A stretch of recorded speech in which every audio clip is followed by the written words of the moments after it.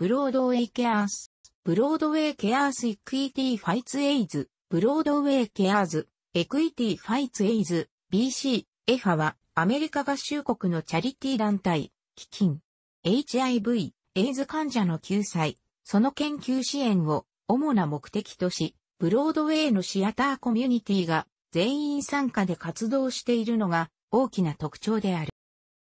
1980年代中頃、ブロードウェイはエイズによって貴重な人材を次々に失い、深刻な打撃を受けていた。アメリカには国が運営する健康保険制度がない。個人は雇用者が契約している保険会社の医療保険に加入するか、さもなければ自前で高額の医療保険を購入するか、そのどちらかである。ウェーターなどをして細々と生活を支えながら、ブロードウェイの狭き門をくぐろう精進していた若い舞台俳優にとって医療保険などは高値の花だった。したがっていざ病気になると満足な対処治療も受けられない。さらに当時はエイズがまだ同性愛者特有の病気という偏見が根強く、キリスト教は同性愛を罪とすることから、アメリカにおける慈善活動の中核をなす、旧世軍などのキリスト教系、チャリティー団体は、エイズ患者に手を差し伸べようとはしなかっ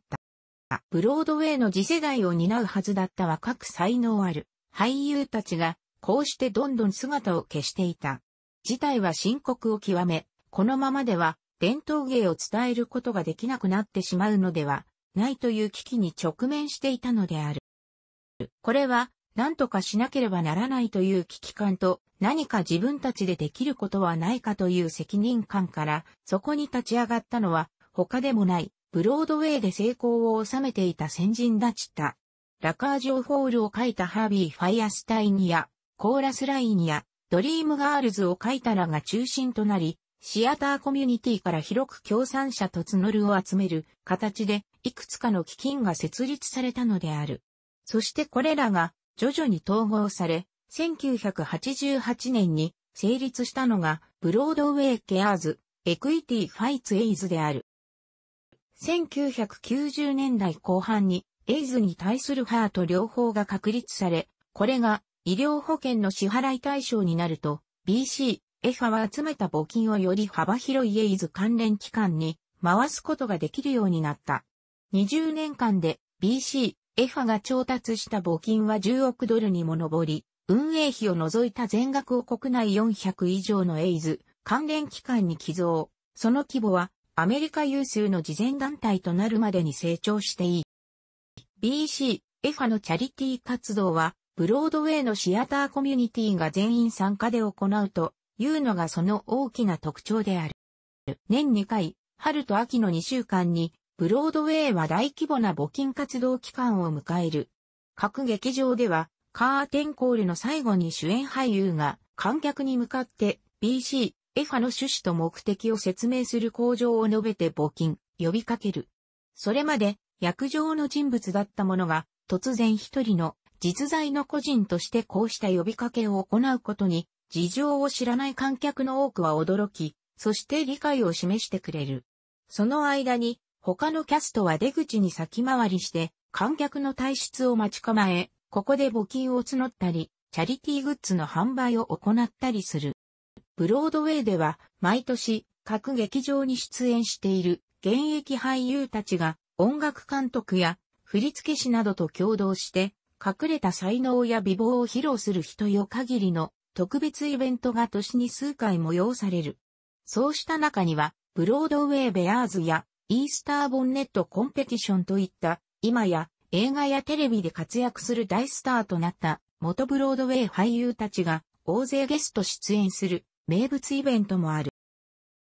年に一度の大イベントがフリーマーケットグランドオークションである。文字通りフリーマーケットとオークションのイベントで毎年9月の最終日曜日にシューベルトアレイという工事で開催される。売りに出されたり競売にかけられたりするのは、下は各プロダクション関係の小物から、実際に舞台上で使われたお宝小道具まで、上は有名俳優とのディナーデートから公演中のミュージカルに一晩早くで出演という、すごいものまでピンからキリまであり、裕福な支援者でも、演劇好きな学生でも、誰もが募金に参加できるよう配慮されている。中でも人気なのが、サイン会と撮影会で、舞台はもとより、映画やテレビで活躍する俳優75から80人が、交代でこれを務める。いずれも各自が、募金者の目の前で、個人宛てにサインしてくれたり、募金者と一緒にお立ち台の上で、記念撮影に収まってくれるのが売り物で、しかもいずれも募金額が手頃に設定されているばかりか、第三者がお立ち台の上の俳優を好き勝手に撮影することも出るとあって、このコーナーは毎年黒山の人だかりとなる。今やすっかりお馴染みとなった思いやりのレッドリボンだが、その普及にも BC、エファは一役買っている。1991年のトニー賞で授賞式に出席する一部の関係者にこのリボンを襟につけて会場入ってくれないかと働きかけたところ、これが口から口へと伝わり、当日は出席者のほとんどが胸に赤いリボンをかざして会場入りした。その模様が全米に生中継されたことから、レッドリボンの存在は一躍アメリカ中に知れ渡るようになったのである。こうした経緯から BC、エファのロゴはこのとなっている。楽しくご覧になりましたら、購読と良いです。クリックしてください。